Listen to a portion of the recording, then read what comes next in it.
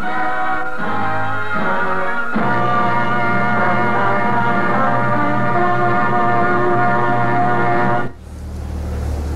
time for our annual corn picking video.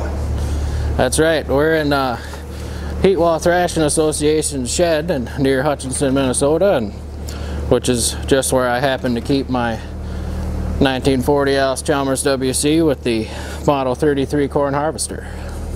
Well, if you you guys tuned in last year, you will remember that we were going to make one more round with this fine piece of harvesting equipment, but the the water pump sprung a leak, and it was uh, spraying on the head. It was leaking out of this here hole.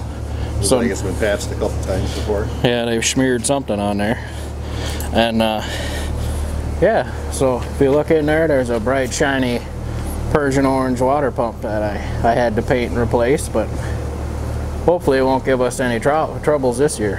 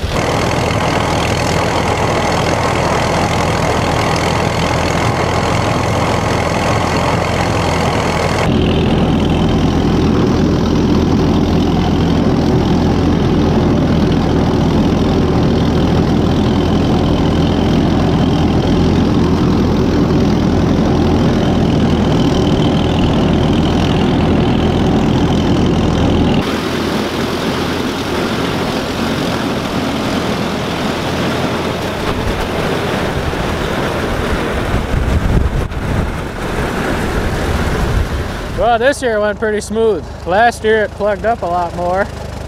And uh, this year it only plugged up two times. One time I stopped so cameraman could catch up. But the uh, it just uh, the elevator plugged up the one time. We got that going, and then the other time the the gathering chain started getting pretty full, and we're sta- it was like stacked up. So then I stopped, let that clear out. But other than that, it picked pretty good this year. Uh, one of the favorite questions every time we make a corn picking video is to ask why uh, we don't pick two rows at a time. Well, this here uh, uh, corn picker was designed for, if I remember correctly, it's 41 inches from center to center. That way you could pick 44 inches wide or 38 inches wide. And it just bend the stalks in a little bit. I think that's what the manual said. And uh, and that's way too wide for the, the row spacing this is planted at. It's planted at 30. So it'd bend over and just break them off, you know. And a lot of corn would drop. That and the uh, the population that it's planted at too. Like the corn's like so close together now. Like even just picking one row at a time, that's almost too much for it. It can't. It, it, it almost can't process it as it is right now. So so that's why we pick one row at a time. And uh, yeah, that's the main question. And as uh, I'd like to uh, to thank everybody for um, all our viewers and subscribers for tuning in for these past past uh, few years that we've three years that we've uh, that we've been on YouTube and uh, I'd like to thank the Heatwole Thrashing Association for uh, letting me park this in their shed and letting me um, yeah just being a part of their stuff and I'd like to thank uh, Corey Hankey for letting me pick his corn and uh, helping me source parts for that thing and I'd like to uh, thank Kevin who I bought it from and I'd also like to thank thank Jimmy for recording it. There you are. I think that's it. That'll be a wrap for this here